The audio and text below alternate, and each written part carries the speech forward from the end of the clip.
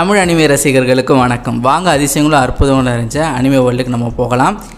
லைட்டிங்கில் கொஞ்சம் பட்டி டிங்கரிங்லாம் பார்த்துருக்கோம். இம்ப்ரூவ்மெண்ட் பண்ணணும் அப்படின்றதுக்காண்டி கொஞ்சம் மெனக்கெட்டிருக்கோம். எப்படி இருக்குது அப்படின்றத கமெண்ட் செக்ஷனில் சொல்லுங்கள் இன்றைக்கி நம்ம என்ன பார்க்க போகிறோம் அப்படின்னா One Piece chapter thousand twenty seven வந்திருக்கு. And it was an amazing chapter ஒரு நல்ல செட்டிங் சாப்டர் என்னெல்லாம் நடந்திருக்கு? என்ன இன்ட்ரெஸ்டிங்கான விஷயங்கள்லாம் நடந்திருக்கு அப்படின்றத கிளியராக பிரேக் டவுன் பண்ணிடலாம். வித்தவுட் ஃபர்தர் டிலே வாங்க வீடியோக்குள்ளே போகலாம்.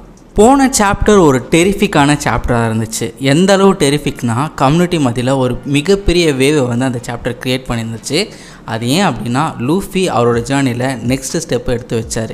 இனிமேல் லூஃபி வந்து எல்லாரும் வந்துட்டு சொல்கிற மாதிரி ஃபேக் யோங்கோன்றது வந்து கிடையாது.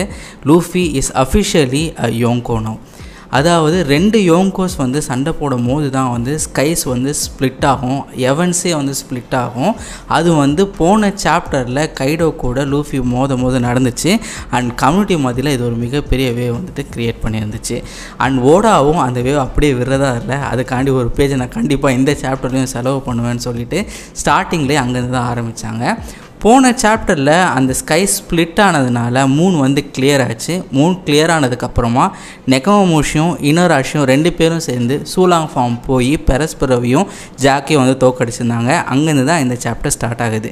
நெகமோஷி என்ன சொல்கிறாருன்னு பார்த்தீங்கன்னா கேரட் கிட்ட கேரட் திடீர்னு வந்து ஸ்கைஸ் வந்து கிளியர் ஆயிடுச்சு ஏன்னு எனக்கு தெரியலை. பட் ஆனால் நம்ம வந்து ஆக்சிடென்டலாக சூலாங் ஃபார்ம் போகிறதுக்கு வந்து வாய்ப்புகள் இருக்குது கொஞ்சம் கேர்ஃபுல்லாக இரு அப்படின்னு சொல்கிறாரு அண்ட் எமோட்டோவும் என்ன பார்க்குறாங்க அப்படின்னா இந்த மாதிரியான ஒரு விஷயம் ஓடனோட ஜேர்னலை நான் படித்ததா அப்படின்னு சொல்லிட்டு உணர்றாங்க. அப்போது ராஜரும் ஒயிட் பியோடும் கிளாஷ் பண்ணும்போது இப்படி தான் வந்து ஹெவன்ஸே ஸ்ப்ளிட்டாக இருந்தது அப்படின்னு சொல்லிட்டு ஓடன் அவரோட ஜேர்னலில் எழுதியிருக்கிறாரு. இந்த ரெண்டு கிளாஷ் நடந்ததுனால ஒனிகிஷிமா ஃபுல்லாக ஒரு பெரிய ட்ரெமர் வந்துட்டு எல்லாருமே வந்து ஃபீல் பண்ணுறாங்க அங்கங்கே வந்து ரபுல்ஸ்லாம் உடஞ்சி விழுகுது. அண்ட் எமோட்டோ கிட்ட லூஃபி என்ன சொல்கிறாருன்னா மொமோனோஸ்கேக்கு நீ போயிட்டு ஹெல்ப் பண்ணு. அவன் இப்போ வந்து தான் புதுசாக ட்ராகனாக மாறி இருக்கான் ஸ்டில் அந்த க்ரிப் அவனுக்கு இல்லை.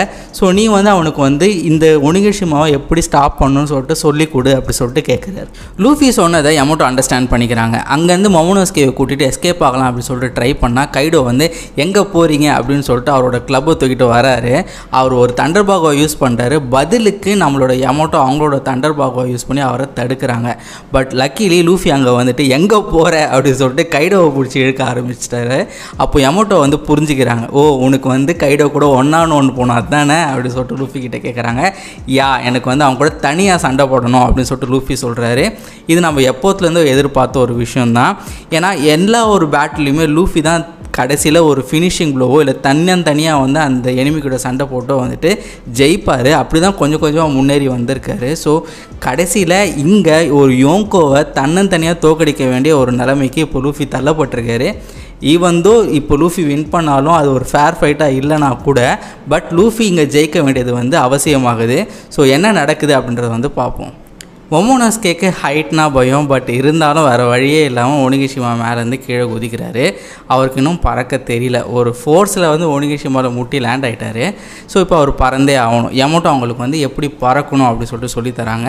ட்ராகன்ஸ் பறக்காது க்ளவுடை பிடிச்சிட்டு நடக்கும் அப்படின்னு சொல்கிறாங்க உன்னால் க்ளவுடை வந்து கான்ஜூர் பண்ண முடியும். ஸோ நீ ட்ரை பண்ணிப்பார் அப்படின்னு சொன்னதும் மொமோனஸ்கே ட்ரை பண்ணுறாரு அண்ட் அவரால் அதை பண்ண முடியுது. அவர் ஒரே சந்தோஷம் நான் பறக்கிறேன் அப்படின்னு சொல்லி. ஸோ அவங்க வந்து அந்த க்ளவுட்ஸை ஃப்ளேம் க்ளவுட்ஸ் அப்படின்றது வந்தது மொமோனோஸ்கேக்கு எக்ஸ்பிளைன் பண்ணுறாங்க அப்போது ஒரு அசம்பாவிதம் நடக்குது. என்ன அப்படின்னு சொல்லிட்டு பார்த்தீங்கன்னா ஒனிகிஷிமாவோட ரப்பிள்ஸ்லாம் உடஞ்சி கீழே விழுது. எமோட்டோ இதை பார்க்குறாங்க. ஒருவேளை கைடோவோட பவர் வந்து வீக்கன் ஆகுதா அப்படின்னு சொல்லிட்டு. அப்போ வந்து வீக்கன் ஆகுது அப்படின்னா ஒனிகிஷிமா வந்து ஃப்ளவர் கேப்டன் நெருங்கிருச்சு. இந்த இடத்துல விழுந்துச்சுன்னா என்ன நடக்கும் அப்படின்னு சொல்லிட்டு ஒரே பயம் ரெண்டு பேருக்கும். ஸோ நீ என்ன பண்ணும் அப்படின்னா அதை போய் தடுக்கணும்னா அவர் போயிட்டு அந்த ஐலாண்டை வந்து முட்டுறாரு மொமோனோஸ்கே ஆனால் ஒரு விஷயமும் நடக்கலை. என்னதான் அவர் பெருசாக இருந்தாலும் ஒரு ஐலாண்டை ஸ்டாப் பண்ணுற அளவு அந்த ட்ராகனுக்கு வந்து பவர் இல்லை. ஸோ அப்போ எமௌண்ட் என்ன சொல்கிறாங்கன்னா நீயும் வந்து ஃப்ளேம் க்ளவுட்ஸை வச்சு தான் ஒனிகிஷிமாவை புஷ் பண்ணணும் அப்படின்னு சொல்லிட்டு சொல்கிறாங்க நான் இப்போ தான் பறக்கவே கற்றுக்கிட்டேன் அதுக்குள்ளே நான் எப்படி இதெல்லாம் பண்ணுறது அப்படி சொல்லிட்டு கேட்குறாரு இப்படியே விட்டோம் அப்படின்னா ஃப்ளவர் கேபிட்டலில் போயிட்டு விழுந்துரும். ஒனிகிஷிமா ஒரு பாம் அதில் நிறைய வெப்பன்ஸ்லாம் இருக்குது ஸோ நம்ம இப்படியே விட்டோம்னா இங்கே இடத்துல விழுந்துச்சுன்னா கூட ஃப்ளவர் கேபிட்டல் வந்து அழிஞ்சிரும் அப்படின்னு சொல்லிட்டு சொல்கிறாங்க அப்போ நம்ம என்ன பண்ணணும்னா போயிட்டு லூஃபியை ஸ்டாப் பண்ணணும் அப்படின்னு சொல்லிட்டு மோனஸ்கே சொல்கிறாரு யமோட்டோக்கு சமக்கம். அவங்களோட க்ளப்பை எடுத்து அவன் மண்டையிலே ஒன்று வந்து போடுறாங்க. ஆல்ரெடி அவனுக்கு நிறைய பிரச்சனை. முடியாமல் வந்து சண்டை போட்டுட்டு இருக்கான். ஆல்ரெடி அவன் ஷோல்டர்ஸில் நிறைய பேர்டன் இருக்குது நீ இதையும் கொண்டு போயிட்டு அவன் மேலே வைக்காத. இப்போ நீ போய் சொன்னனா அவனுக்கு ஒரு டைலமா வந்துடும் கைடவை தோக்கடிக்கணுமா வேணாமா அப்படின்னு சொல்லிட்டு. ஸோ இந்த பிரச்சனையை நம்ம தான் பார்த்துக்கணும் அப்படின்னு சொல்லிட்டு சொல்கிறாங்க இந்த இடத்துல எமோட்டோ பண்ணது எனக்கு ரொம்பவே பிடிச்சிருந்தது. அடுத்து நம்மளுக்கு பெர்ஃபார்மன்ஸ் ஃப்ளோரில் என்ன நடந்துட்டுருக்கு அப்படி சொல்லிட்டு காட்டுறாங்க. அங்கே கிங் இஸ் ஆன் ரேம்பேஜ் ஓகேவா அவர் செம்ம கோவத்தில் அவரோட ஹைப்ரிட் ஃபார்ம் நினைக்கிறேன். அதுக்கு போயிருக்காரு அதில் வந்து கை வந்து விங்ஸாக வந்து மாறி இருக்கு அதை வந்து ஸ்வாடா யூஸ் பண்ணி நிறைய ஏர் ஸ்லாஷஸ் வந்து விடுறாரு.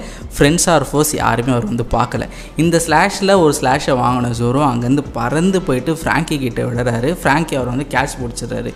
எங்கேருந்துடா பறந்து வர? என்ன பிரச்சனை? நான் ஏதாச்சும் ஹெல்ப் பண்ணட்டுமா? அப்படி சொல்லிட்டு ஃப்ராங்கி வந்து ஜோரோ கிட்டே கேட்குறாரு. பட் ஜோரோ என்ன சொல்கிறாருன்னா ஒன்றும் தேவையில்ல. நானே பார்த்துக்கிறேன்.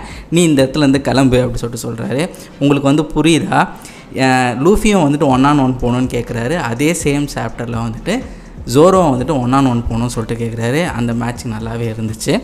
அண்ட் ஏன் வந்து கிங் அவ்வளோ கோவப்படுறாரு? ஏன் என்ன பண்ணார் ஜோரோ அப்படி சொல்லிட்டு கேட்டிங்கன்னா அவரோட மாஸ்க்கை வந்து உடச்சிருக்காரு. இப்போ வரையும் அவரோட ஃபேஸை யாருமே பார்த்தது இல்லையாம்மா கிங்கோட ஃபேஸை அதனால தான் கிங் வந்து செம்ம கோவத்தில் இருக்கார்.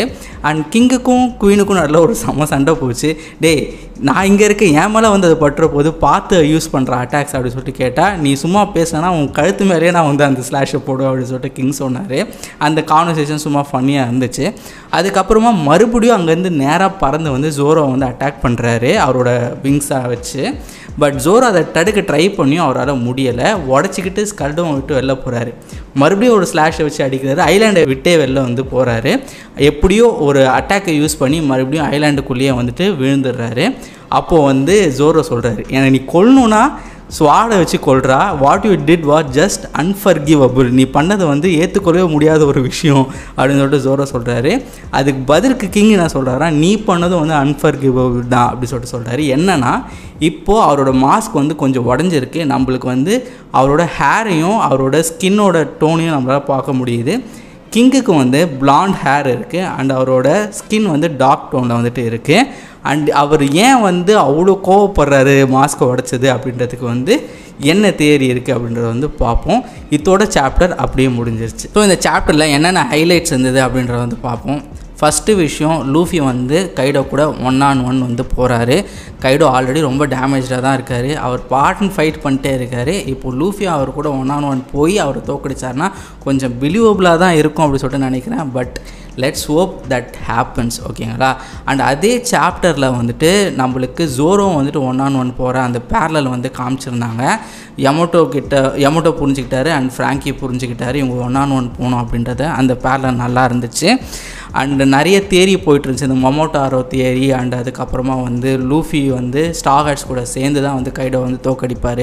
ஏன்னா ஸ்டாகட்ஸ் எல்லாமே வந்து ஃபைட்டில் வந்து ஃப்ரீ ஆகிடுவாங்க மொத்தமாக வந்து கைடோ கூட சண்டை போடுவாங்க அப்படின்னு சொல்லிட்டு ஒரு தேரி போயிட்டுருந்துச்சு இதெல்லாம் எப்படி போகுது அப்படின்றத வந்து பொறுத்து வந்து பார்ப்போம்.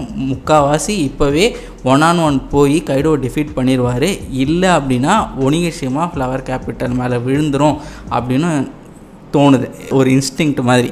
ஓகேங்களா அடுத்துக்கு அடுத்து நம்ம பார்க்க போகிறது என்னன்னு பார்த்தீங்கன்னா அந்த கிங்கோட அந்த மாஸ்க்கு கீழே என்ன இருக்கலாம்? என்கிட்ட ஒரு தேதிக்கு என்னென்னா அவரோட மாஸ்க்கை உடைச்சதுக்கு அவர் அவ்வளோ கோவப்படுறாரு. ஏன் இருக்கலாம் அப்படின்னா கிங்குக்கும் வந்து ஸ்வெர்லி ஐப்ரோஸ் இருக்கும் அப்படின்னு சொல்லிட்டு நினைக்கிறேன். ஏன் அப்படின்னா லுனேரியனோட பிளட்டை எடுத்து தான் அந்த லீனேஜ் ஃபேட்டரை எடுத்து தான் சாஞ்சியை வந்து க்ரியேட் பண்ணாங்க. அண்ட் சாஞ்சிக்கு மட்டும்தான் அது கரெக்டாக ஒர்க் அவுட் ஆகிருக்கு அப்படி சொல்லிட்டு நினைக்கிறேன். ஸோ அவருக்கு வந்து லுனேரியன் எல்லாருக்குமே அந்த ஸ்வெல்லி ஐப்ரோஸ் இருக்க வந்து வாய்ப்புகள் இருக்குது அண்டு அவரோட ஹேரும் வந்து பிளாண்டாக இருந்தது. சாஞ்சியோட ஹேரும் வந்துட்டு பிளாண்டாக இருக்கும். ஸோ எப்படி போகுது அப்படின்றத வந்து பார்ப்போம். ஒரு சின்ன ஒரு ஸ்மைல் கொடுக்குற மாதிரியான ஒரு சாப்டராக இருக்கும். இப்போ அவர் வந்து சுவலி ஐப்ரோஸ் ஜோரோ பார்க்குறாருன்னா செம்ம காமெடியாக வந்துட்டு இருக்கும். அண்ட் அதை தடுக்கிறதுக்கோசரம் எல்லோரும் கிண்டல் பண்ணுவாங்கன்றதுக்கோசரம் தான் மாஸ்க் போட்டிருக்காரு அப்படின்னு சொல்லிட்டு ஃபீல் ஆச்சு. ஸோ உங்களுக்கு என்ன தோணுது அப்படின்றது வந்து கமெண்ட் செக்ஷனில் சொல்லுங்கள் இந்த வீடியோ உங்களுக்கு பிடிச்சிருந்துச்சுன்னா லைக் பண்ணுங்கள் ஷேர் பண்ணுங்கள் அண்ட் மறக்காமல் தமிழ் அனிமே கிளப் சப்ஸ்கிரைப் பண்ணுங்கள் உங்களோட வேல்பான கமெண்ட்ஸ் எங்களுக்கு கொடுங்க. ஏன்னா அதுதான் எங்களுக்கு ஒரு பெரிய என்கரேஜ்மெண்ட் அனிமே பார்ப்போம் பகிர்வோம் பிலீவ் இட்